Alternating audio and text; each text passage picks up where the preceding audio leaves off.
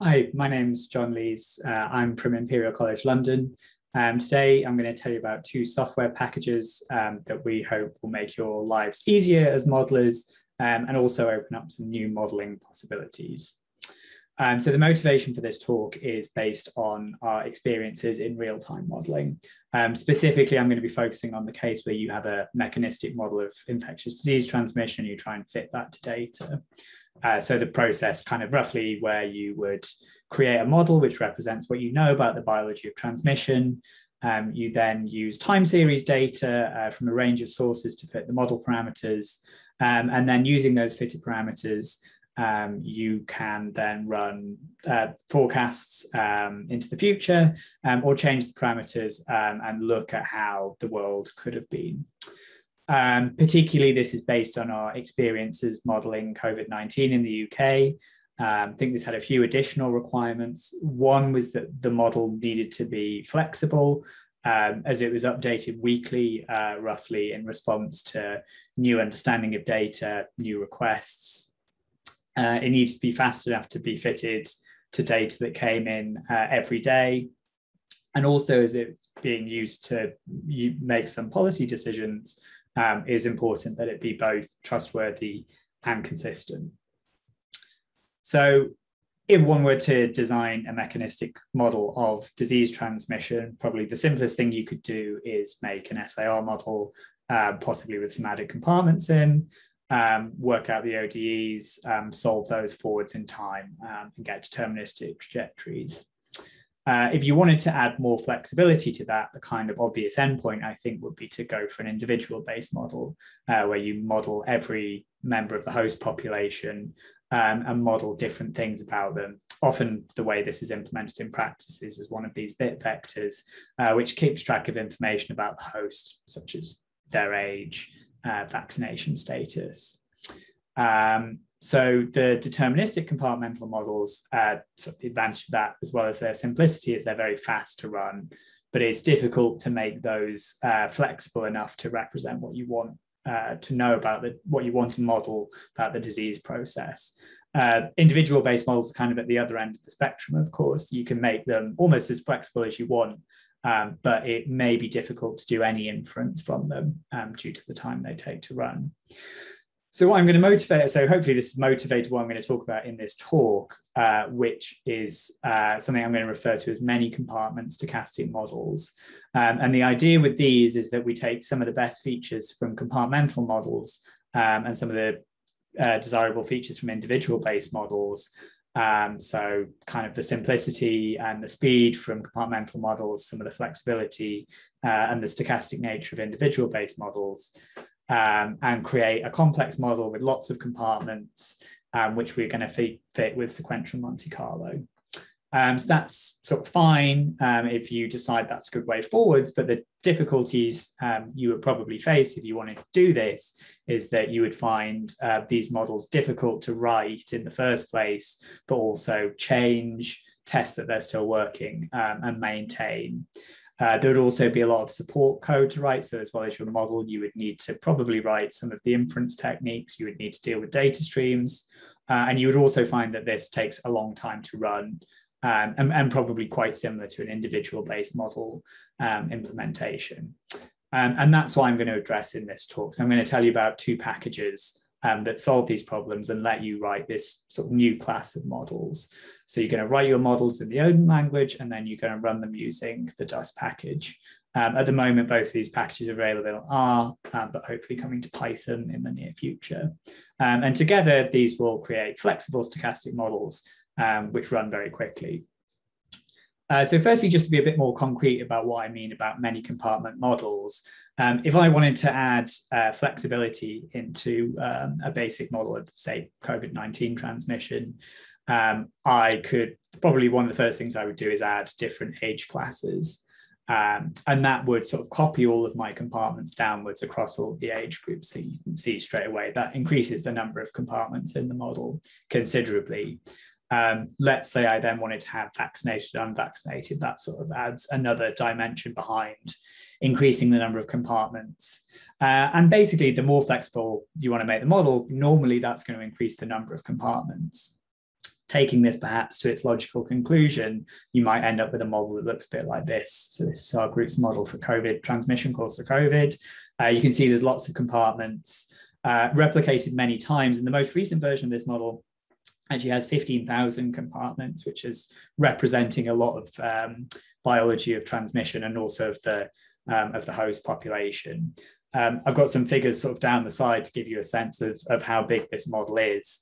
Um, and our packages have been letting us um, run this model um, every day, sort of since the start of the since the start of the pandemic.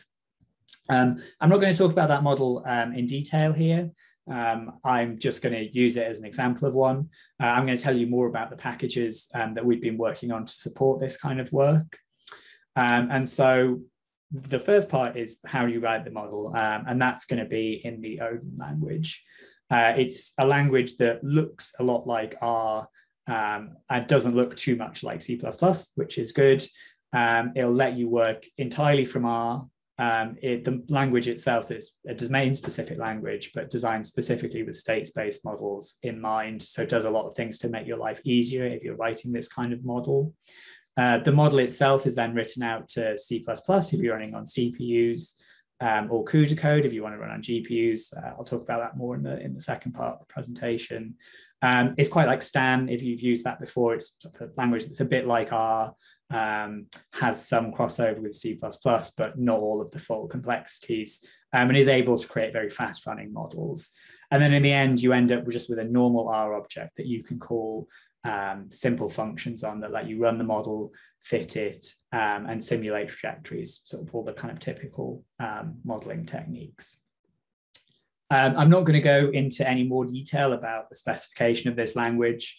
Um, if you want to use it, though, we've got um, a number of vignettes. Uh, you can also look at the examples, for example, the COVID model. So this is the start of the COVID model code.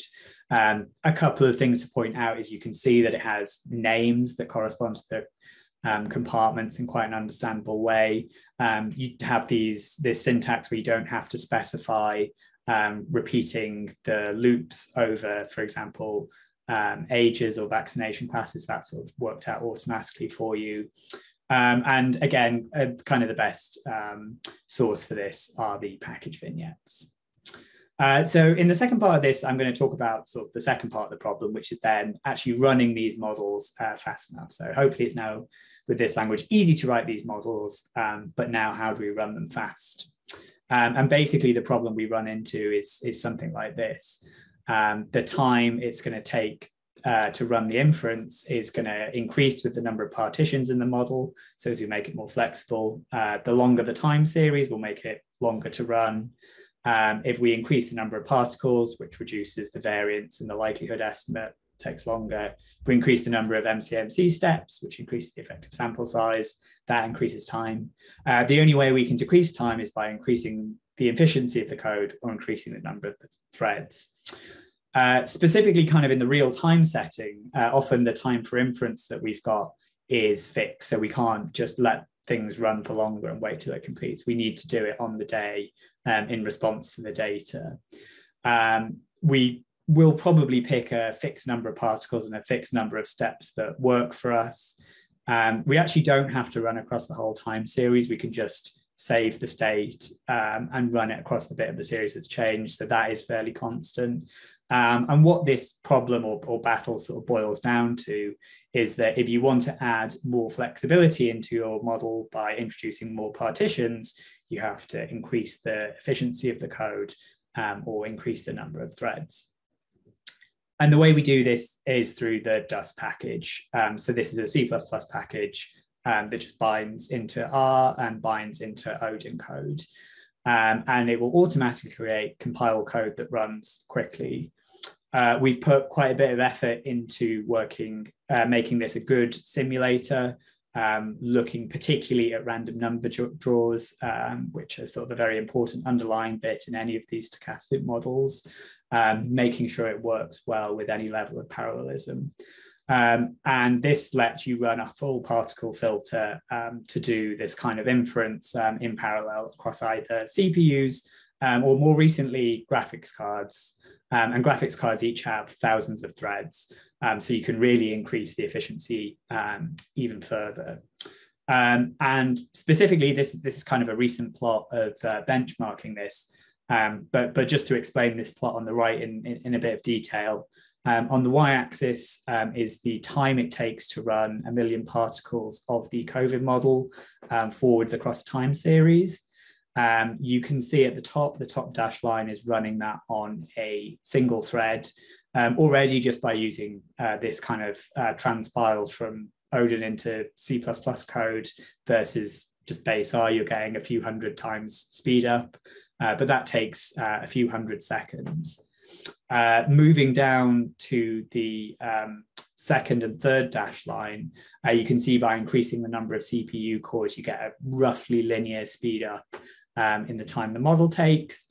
And then the red line at the bottom is um, using a single GPU. Multiple GPUs are possible, but it's just using a single GPU. Um, and then the reason we've got an x-axis on here is to show you that you need um, a lot of particles for this to be efficient. So before the COVID model I showed was using about 200 particles, um, but this is needing uh, tens or hundreds of thousands. Um, this is possible to get by running multiple regions on the same card, so you can put multiple data streams on there. Um, we've got a few other tricks um, to let you get up to that limit. And overall, this is sort of running maybe 100,000 times faster than naive R code. Uh, but the nice thing is, it looks just like what you would write in R. Um, if you just put this in R and, and ran it, um, you could kind of replicate this plot. Uh, all it requires um, are these two packages. Um, and all you're saying GPU equals true, um, and it'll run nice and quickly. Um, just as a quick aside, um, as well as writing out C++, it also lets us write out to JavaScript. Um, so we can get code that runs in um, a browser. Uh, so covidsim.org is a nice example of this. Um, there's a model written in Odin, transpiled into JavaScript, and then run um, in response to user input in the browser and, and run on the user's machine. and you can get nice plots of scenarios out. So just to summarize, um, sort of I think what I've tried to cover in this talk. Uh, hopefully, um, I've convinced you that stochastic compartmental models can be a good compromise between uh, speed of a model and doing inference, but also making a flexible model. Um, that in the past, them being slow to run and having a lack of support in well-tested software have made them challenging to use for real-time analysis. Uh, but with the Odin and the Dust packages, um, we hopefully take the time and the pain out of writing support code for those models. Um, the code will be fast, um, it's tested very carefully, um, and we think it's reliable. Uh, enough to be used for all our fitting um, of COVID-19 uh, over the past now couple of years in the UK. Um, and then more recently, you can use these graphics cards um, to fit even larger models and getting a roughly 400 times speed up um, over a single CPU core. And that speed up lets you put more flexibility into your models uh, by adding more partitions. Um, so it's, it's useful um, for modeling the biology, uh, sort of not just from the computing side. Uh, and crucially, you can do all of this from R. You don't ever have to care about how GPUs work um, or CUDA code or C++. Um, so just some future plans, CRAN release hopefully coming soon. Uh, as I mentioned before, Python interface, which will let approximate Bayesian computation methods work a bit better. Uh, a few new tricks to get up to those many threads in smaller models. Um, and we're also going to look at the way that we um, optimize the model graphs, um, hopefully getting further speed ups there. Um, happy to answer, talk about any of that more in the questions. Uh, I'll just end there, uh, link to the packages. I've, I've, talked about sort of the two most important ones, but there's a few others that sort of fit into the framework. Um, a few references if you're interested in looking into this. Uh, I also just want to specifically point out um, Rich, mm-hmm. who's really written the bulk of this code um, and sort of driven the design of these packages forwards. Um, so yeah, thank you very much for listening, um, and I would be happy to take any questions.